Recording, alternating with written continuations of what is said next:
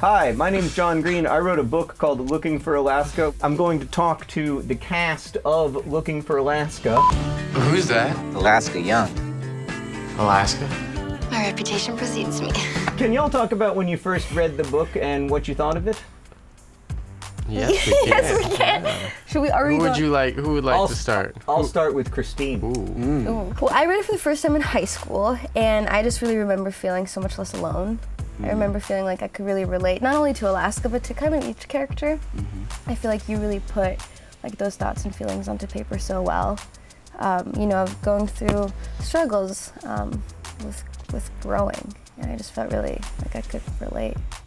Did you think to yourself, like, oh, I wonder if someday I'll be Alaska? No, never, ever would I ever. No, never, no. Well, I'm very glad that you are. Thank you. I'm really glad I got to do it too. Denny? So are we going? Okay. Well, Yeah, Uh, we're doing the whole. I I personally I didn't know about the story before the audition, so I was a little late to the party, which I actually felt was a good thing because if I had known the weight of this project, I probably would have trashed the audition.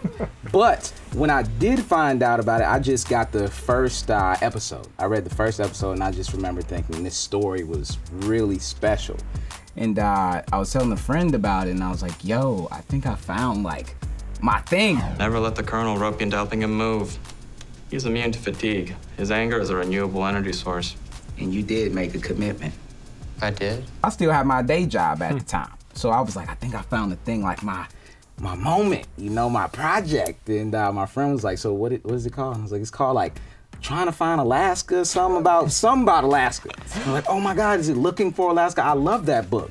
So I went to Barnes and Noble, instantly bought the book, read it in like a day. And at that point, I was like, yo, this story is like unlike anything I've ever read. At that point, I knew I needed to be a part of it for sure. Jay? Uh, well, Denny and I have a very similar situation in that, you know, I also didn't know about the book. Um, so I went in for the audition.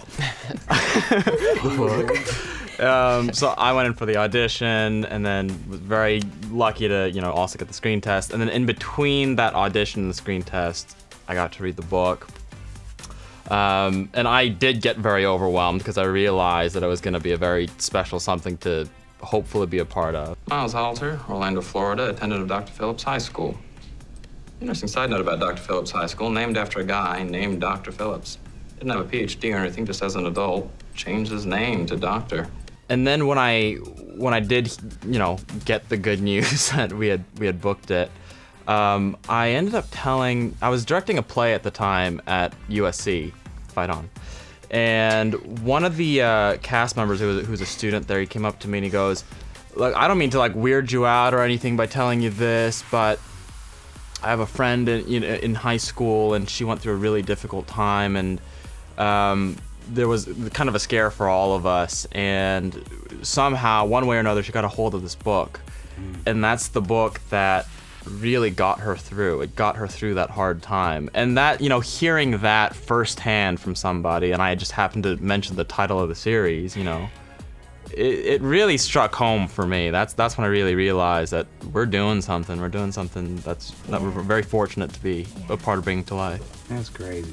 Yeah, I hear that a lot. Hearing that is really overwhelming, uh, and I, I'm really grateful. I mean, you you have to get lucky with the book, you know. I mean, uh, and I feel like I got really lucky with that one. It's been read so generously by so many people, and I just, uh, yeah, that that's really nice to hear and kind of overwhelming.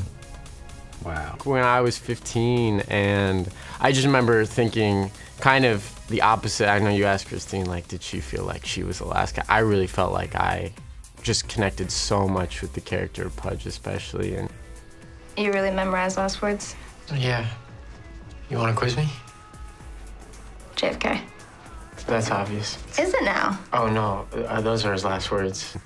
Um, probably to a fault, even. I really just felt so connected to uh, his thought process and what he wanted so much out of life at that moment in his life. And um, it was something where immediately I remember reading it and then finding out that there was a movie version possibly being made, and then desperately wanting to be a part of that and doing everything I possibly could to try, and then it not working out, and then it all kind of coming back around to this now and getting to do it as a miniseries too. Like, it all just really kind of worked out in a pretty magical way. But um, but yeah, no, that was that was really that first experience, and I remember it so vividly. I remember like reading the book in my the front room of my house and just like putting it down and immediately being like, I gotta be a part of this somehow. Didn't you write him a letter? Yeah. I did, yeah, I did. It's a great letter. It was a great letter. Do you? yeah, I, I haven't read it. I read it when I um got it now recently, back a year ago now. It's really sad actually, because I was like, oh, that's what was going on in my life at the time, and like, Yeah. it really was so in line with what I think you know the character of Pudges really has going on when he starts his journey as well. So Yeah, it was a really personal letter. I, uh, yeah, I, I, I appreciated uh, very much that you were willing to share that with me. And and you know, when when you were cast, that was my first thought. Was it's just amazing that you know it's Charlie and he feels such a connection to Miles. And really, I mean, I saw all of your audition tapes, and there were so many great actors. I don't want to criticize anyone. There were lots of wonderful actors who uh, tried out for these roles, but I mean, uh, yeah, you were all just perfect, and I feel like that you see that in the show, like the sense of camaraderie you have, that sense that you have. Like what I really wanted for the story was how much in an insular environment like that. Your friends become your family, mm-hmm. and how and like and and even seeing y'all on set together for the first time, I was like, oh, they've got it. Like they're they're already there. I'm still mad at you for coming that first day. That was the scary. scariest thing of my life. Really? Yes, man. Why? What do you mean? You John Green. I ran. it did. What do you mean you John, John Green? Green.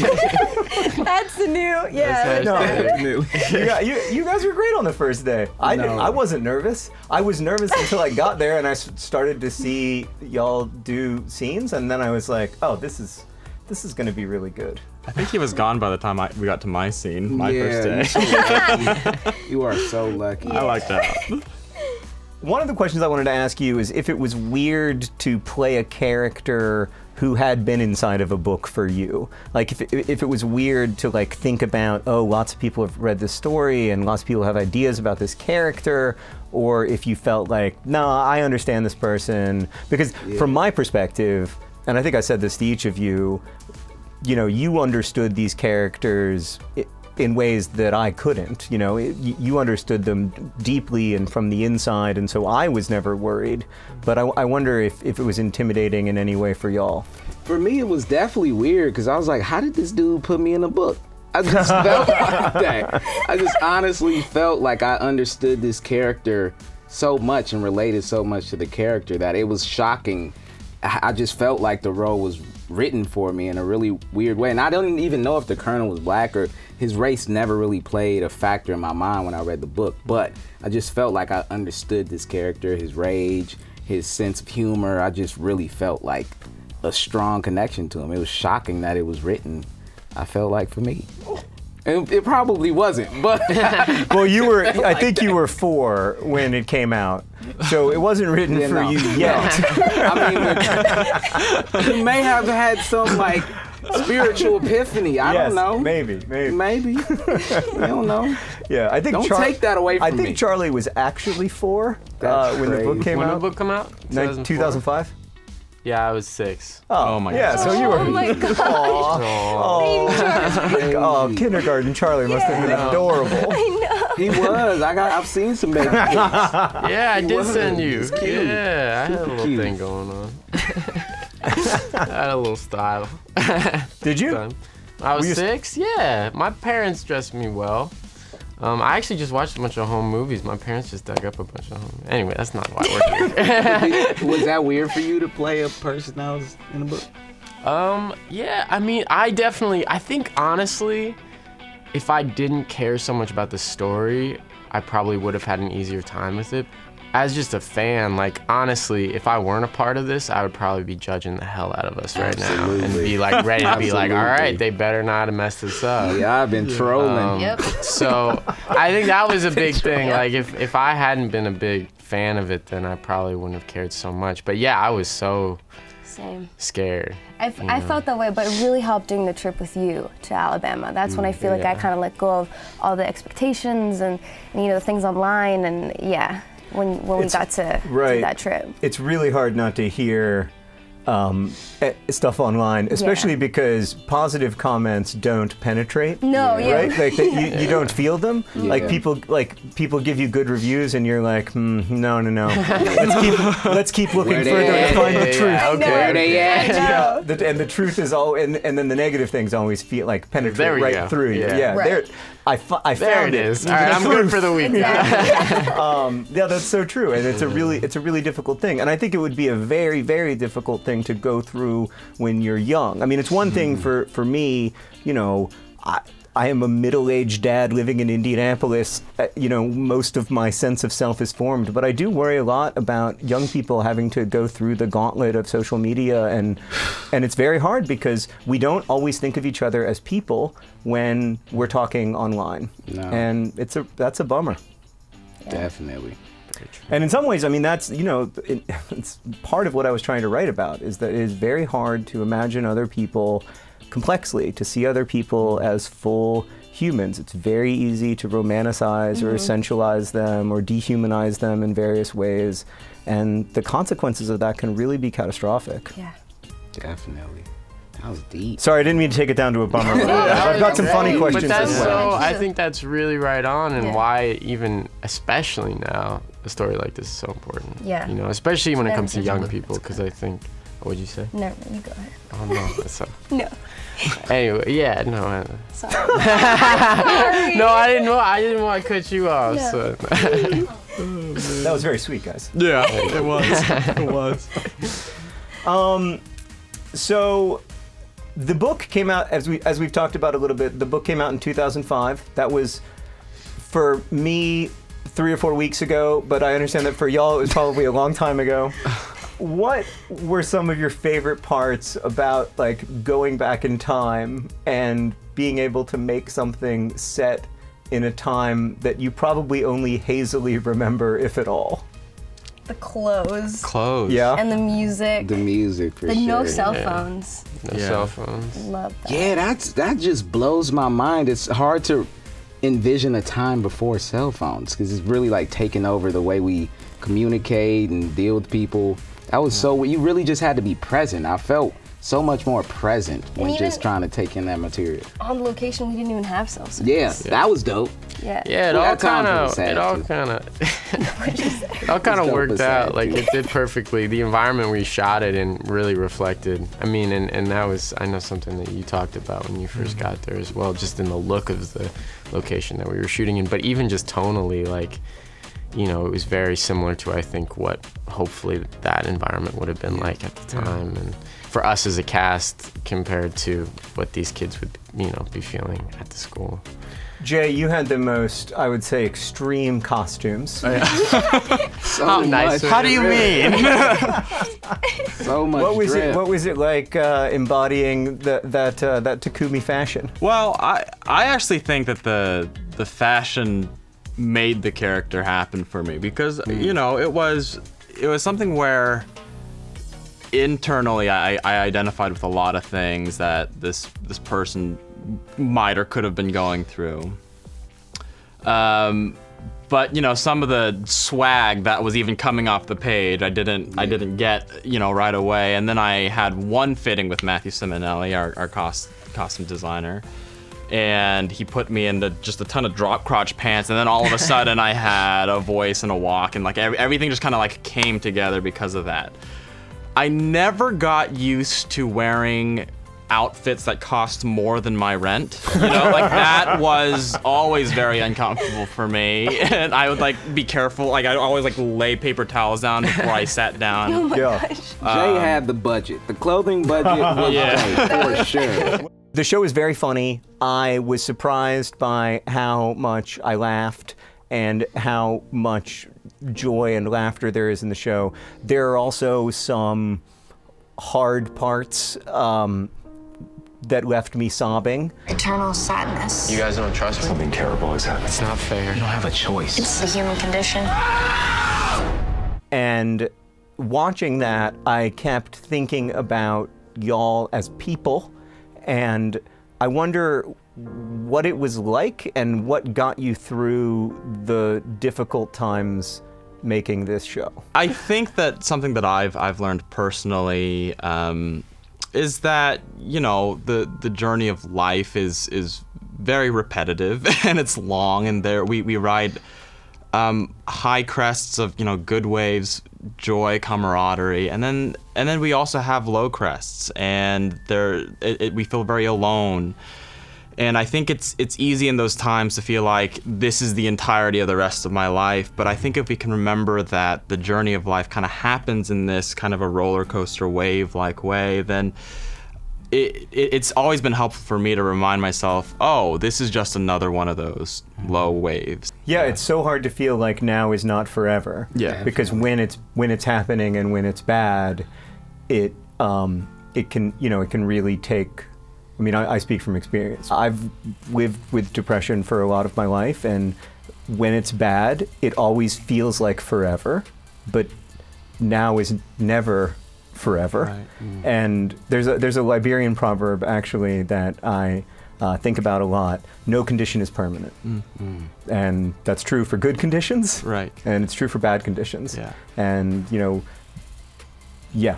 And there is, yeah, that, that's that's what I hope people take away too, is a Yeah. sense of of hope. Like when I was writing the book, uh, this idea was very much in my head. I just dropped out of divinity school, so uh, there was a lot of you know thinking about uh, the the big questions of meaning at the time for me and there's this idea that i found very powerful of, of radical hope the idea that like Mm. hope is available to all people at all times no matter what um, and and i really do believe that Yeah.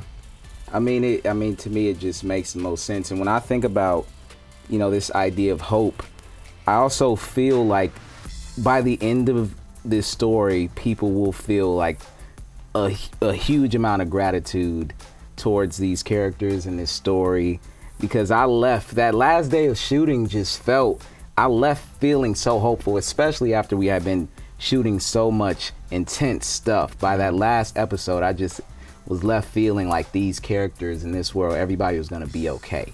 Which to me is a huge, you know, reflection of your writing and Josh and Stephanie.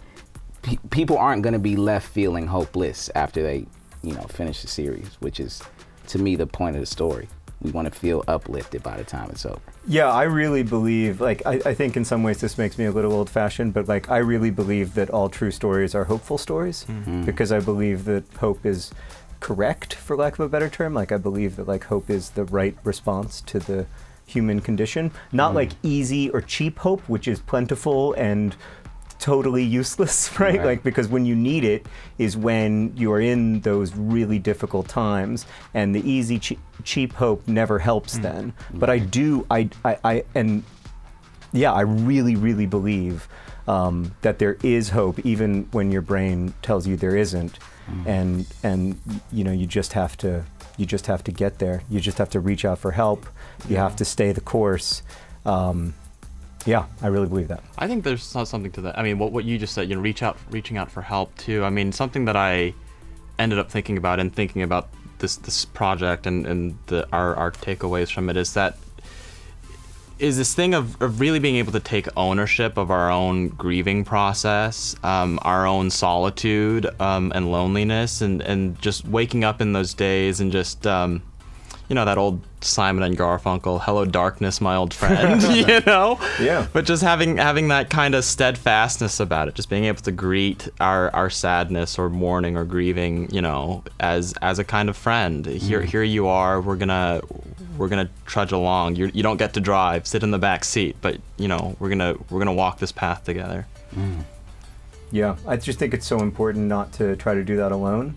Yeah. Um, and sometimes I think, especially, you you know, you, you can start to feel really isolated um, when you're really sad or, or when you feel really distant from people, and that's when it's so important to reach out, to reach out to someone you trust, to reach out to a friend.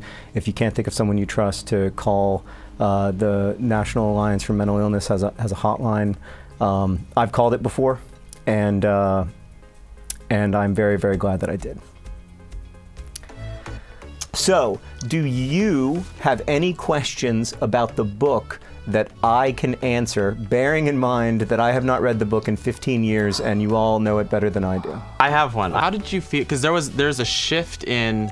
I'm being very selfish. There's a shift in how we handled T- Takumi's end journey in in the series as opposed to in the book. How did you feel about that? I liked it. Yeah. Um, yeah, I liked it. I mean, I I don't feel like uh, a sense of ownership over the characters. Yeah. Maybe because it's been a long time since the book came out, but I I also have tried never to do that with adaptations because it's just inherently different. Like the the show is not made out of scratches on a page, Right. Right. and so the choices have to be different. But I, yeah, I, I quite liked how, how he where he ended up. How did you feel? I felt great about it. Okay, felt good. I'm glad that we're ha- I'm glad that we're both satisfied with it. Absolutely. Me too. Me too. Not me at all. Hater. Yeah. I'm kidding. I'm very happy. I have a selfish question. too. Sure. Do you think that having the Colonel be African American changed the story anyway for you?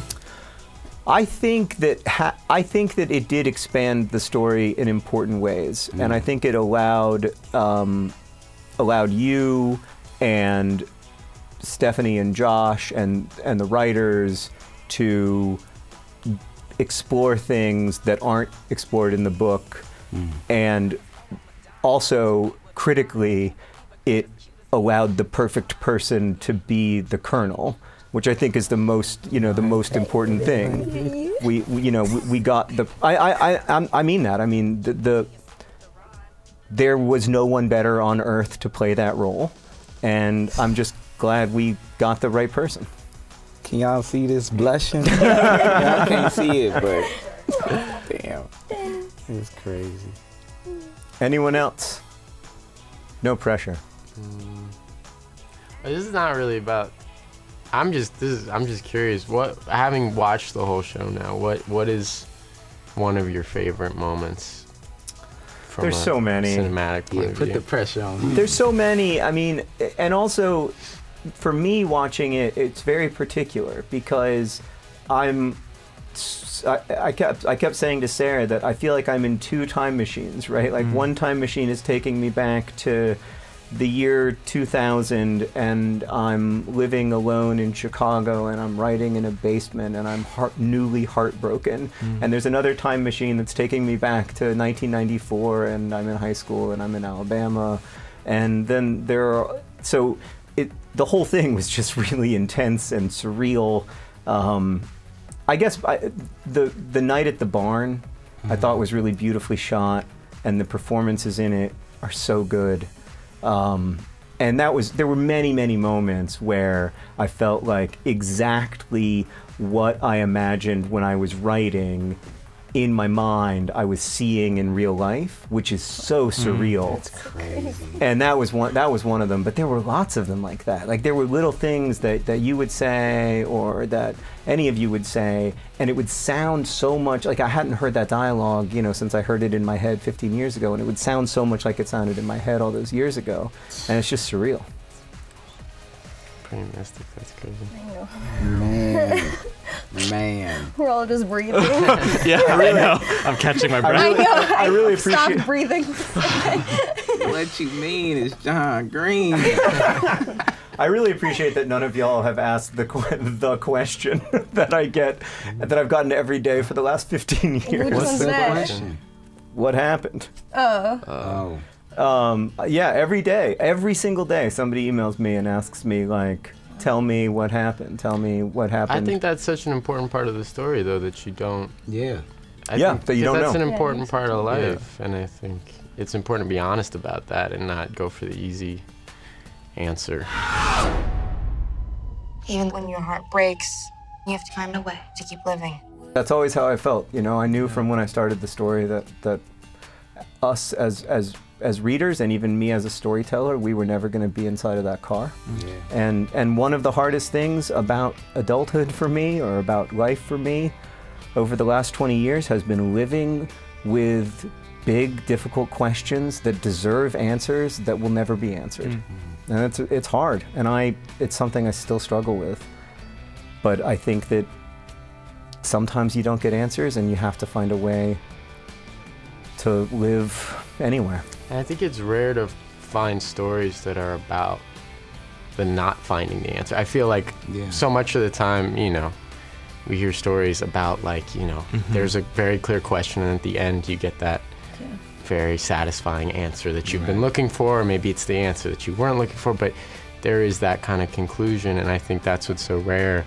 And that's certainly what made me fall so deeply in love with the story was was really how I just feel like that's such an honest representation of, you know, things that I've experienced in life and, and so many people that I know of really not and, and having to be having that be the answer is that there is no you, there is no answer.